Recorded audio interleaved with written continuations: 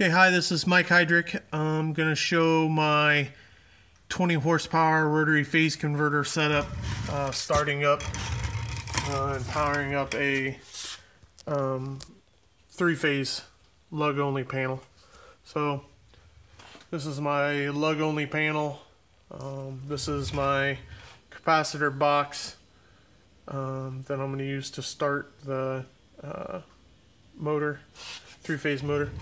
And this right here is a contactor box with some relays in it that will be used to switch the rotary phase converter on and off uh, through a series of momentary push buttons throughout the shop.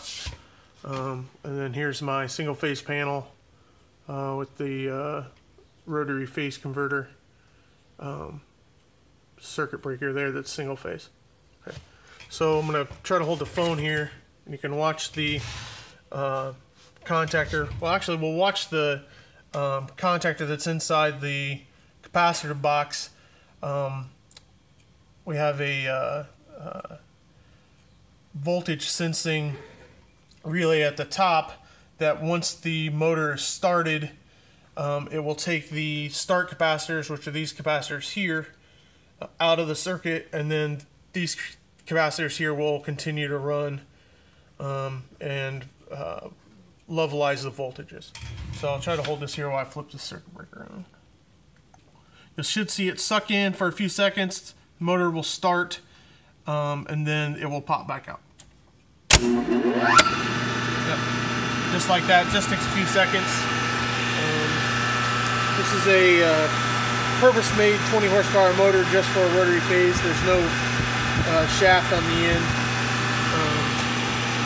Gave up Let's see, it's just a band here on the other side. Okay, and, and then I will shut it off. Watch the motor stop. So you heard the uh, contactor that was that's the switch contactor for control, um, as well as the voltage sensing relay. Uh, drop out of the, the circuit there.